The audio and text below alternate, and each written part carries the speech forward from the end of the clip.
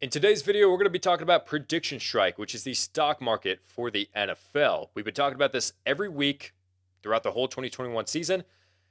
The stock market, you just buy shares of players, and if they end up meeting their projections, their stock price goes up. But if they don't meet their projections, their stock price does go down.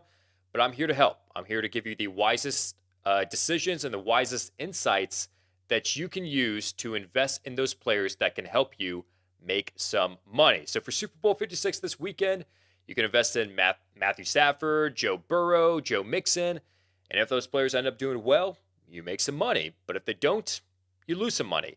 Now, in today's video, we could be talking about those Super Bowl 56 players, and we could help you make some quick cash, quick turnarounds this weekend. But instead, the stock market, it's a long term investment, it's a long term game since this is the final week of our contract with Prediction Strike for the 2021 season, I want to go ahead and just talk about six players that you want to think about for the long term throughout the offseason going into 2022. So, we're going to give you three players to invest in and three players that you just want to go ahead and get rid of and sell their share. So, first, the first player that you need to look into for 2022 and the offseason, starting off with the three players that you need to buy is going to be Jerry Jeudy. I know that I talked about him a couple weeks ago when we talked about Prediction Strike, uh, and this may seem kind of lazy talking about him again, but I'm talking about him again because I am committed to Jerry Jeudy being a watch at the very least for you guys that play Prediction Strike. He's going for $1.57 a share. Look at the analysis. He's a watch more than a buy because Nathaniel Hackett, the offensive coordinator of the Green Bay Packers, is now the next head coach of the Denver Broncos meaning that maybe Aaron Rodgers could come to the Denver Broncos eventually. And if Aaron Rodgers doesn't come, they're going to get a new quarterback in there with Nathaniel Hackett, an offensive mind with great experience and a great offense in Green Bay.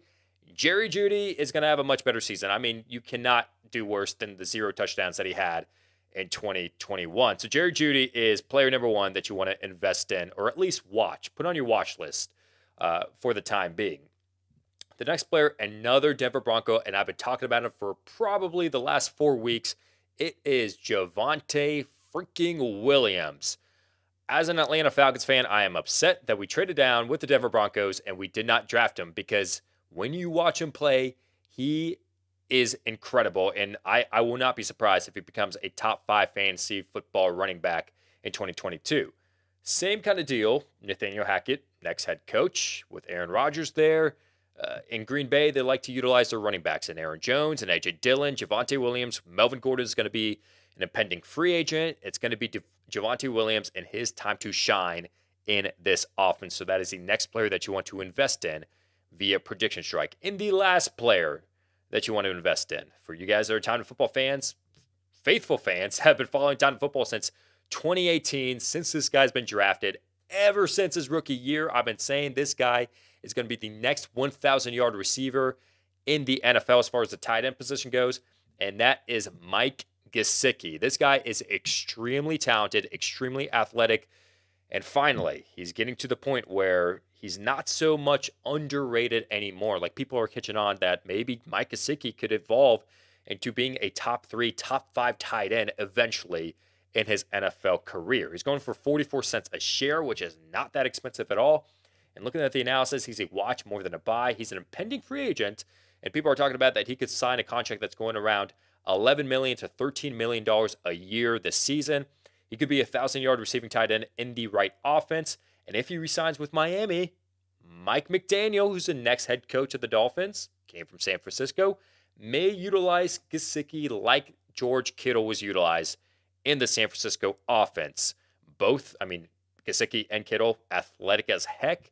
So do not be surprised if Mike Gesicki resigns with the Dolphins and has a great season.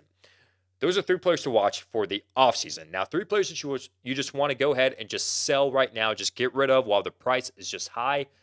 Player number one is going to be Leonard Fournette, going for $11.24 a share, a price that exceeded or increased heavily throughout the season because he was a PPR machine with Tom Brady dumping the ball off to him a lot. But look at the analysis. Impending free agent will not replicate the 2021 season. And oh, that's a typo right there.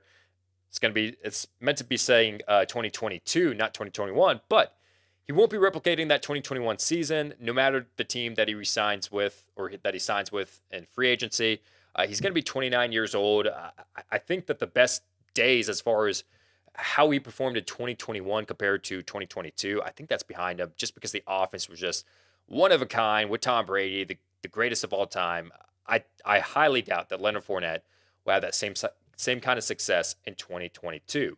The next player, I know, lazy takes. I kind of talked about him a couple weeks ago, but really, I, I just want to go ahead and just say that Aaron Jones is an absolute must sell at this point.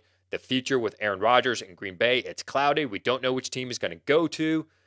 But with Aaron Jones, his value will take a hit if Aaron Rodgers is not there. We saw uh, if Jordan Love is in the offense for the Green Bay Packers, and the one game that he started this year, the Green Bay Packers offense, it's going to be in trouble. So Aaron Jones is someone that I'll just go ahead get rid of. AJ Dillon is looking great as well.